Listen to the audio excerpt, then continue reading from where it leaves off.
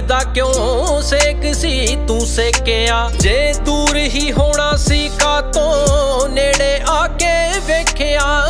ਪਿਆਰ ਵਾਲੀ ਅੱਗ ਦਾ ਕਿਉਂ ਸੇਕ ਸੀ ਤੂੰ ਸੇਕਿਆ?